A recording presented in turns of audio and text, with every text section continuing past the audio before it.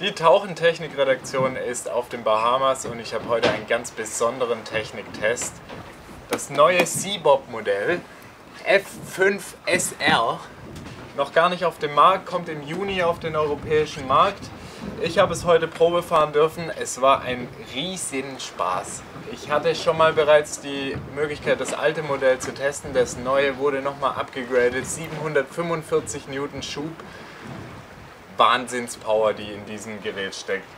Was hat man verändert? Es gibt jetzt diese kleinen Seitenflügel für verbesserte Stabilität, eine gute Wasserlage jetzt. Äh, das habe ich auch im Wasser gespürt.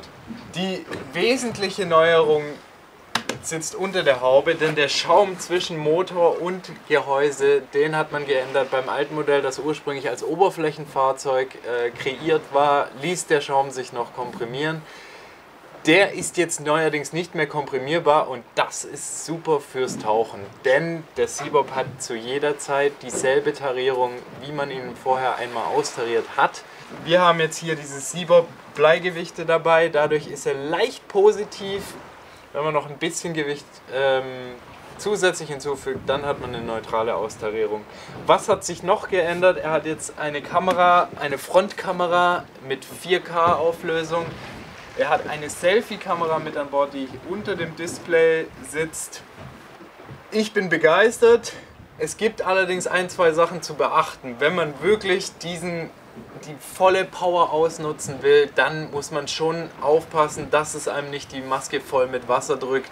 Man gerät schnell in Flachwasser, wenn man ein Looping fährt zum Beispiel, dass man nicht zu schnelle Aufstiege macht.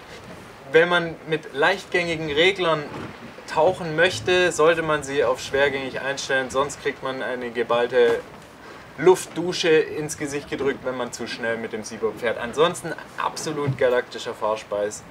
Ich hatte einen großartigen Test heute. Mehr zu den technischen Details und den Hintergründen im Tauchenmagazin.